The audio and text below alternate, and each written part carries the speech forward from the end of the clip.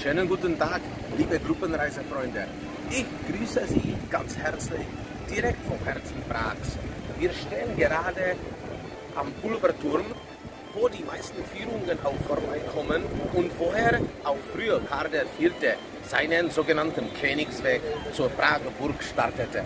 Von hier aus sind das nur 10 Gehminuten zum Wenzelsplatz oder zum Altstädter Aber es befindet sich auch hier das prachtvolle Gemeindehaus. Und das Gemeindehaus zeigen wir Ihnen heute, damit Sie sehen, was man mit den Gruppen im Gemeindehaus unternehmen kann.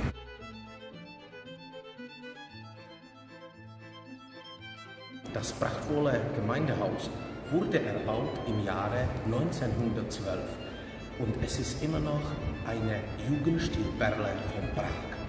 Direkt nach dem Betreten beim Eingang befinden sich zwei tolle Restaurants und zwar hochwertiges französisches Restaurant und Café vom Gemeindehaus.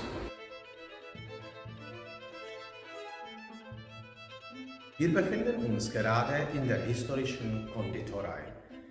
Hier starten meistens auch die Fachführungen durch das Gemeindehaus und wir gehen das auch gemeinsam durch. Und am Ende zeige ich Ihnen natürlich den Smetana Saal.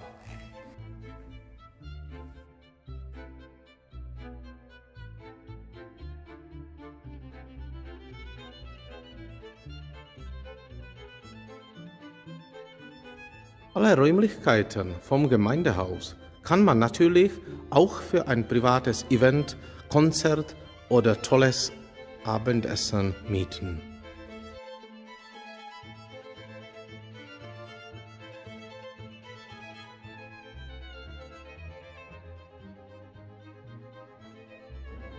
Und jetzt kommt das Schönste. Highlight vom Gemeindehaus.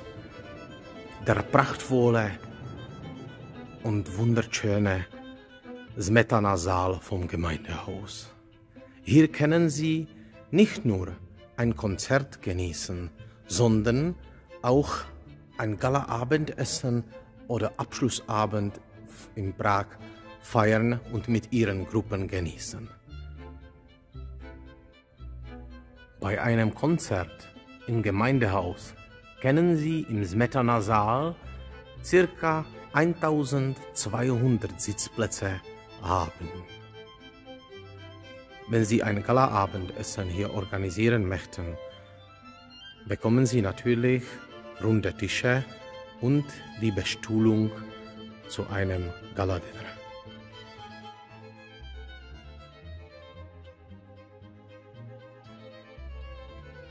Im Gemeindehaus finden mehrmals pro Woche Konzerte der klassischen Musik statt.